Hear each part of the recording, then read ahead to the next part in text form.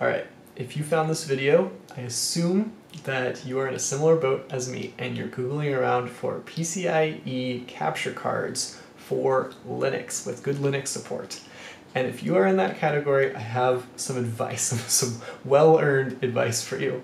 So basically, I, a few years back, was trying to research what PCIe video capture card I could use that is well supported on Linux. I wanted to capture HDMI video. I use this like uh, video camera, this a like Panasonic camera as a HDMI uh, webcam.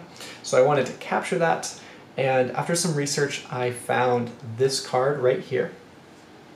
So this is a Blackmagic Decklink mini recorder, and this supports 4K.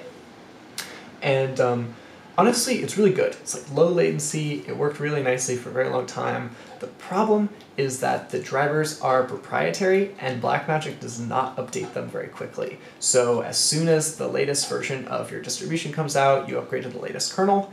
It's a kernel module, the driver is, so it just immediately breaks. And since the code isn't available, there's very little you can do about it.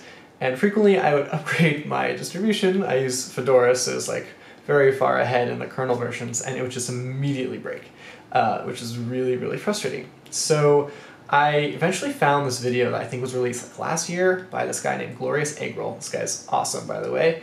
And he figured out that this PCIe Express card from AV Matrix, it's the uh, VC12 4K will do exactly what I was hoping for, and the uh, the drivers are open source. They're GPL'd, and he even went and grabbed a copy of them and put them on GitHub for us all to uh, collaborate on together. And this is awesome. I actually just tried upgrading I, uh, my Fedora workstation to the latest kernel version.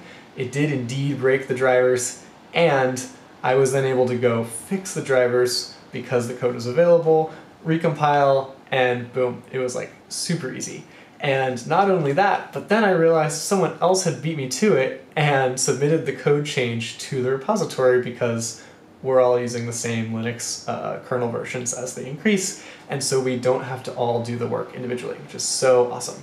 So, if you are in my position and you need a HDMI video capture card for Linux, I highly recommend this AV Matrix card. I'll put a link in the description if that's helpful.